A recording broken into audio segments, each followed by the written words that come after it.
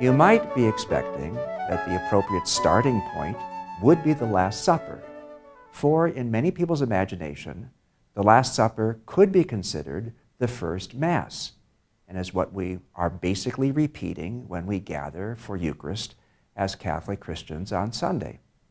While such imaginings might ring true for many, I don't think that they are either historically or theologically sound.